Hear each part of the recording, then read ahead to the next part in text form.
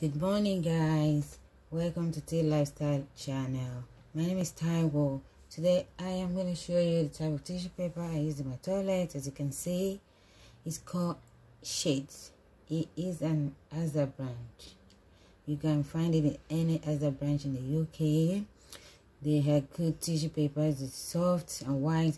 They're easily flushable in the toilet. They don't get stuck. I've been using it for years and years now. And they are good tissue papers.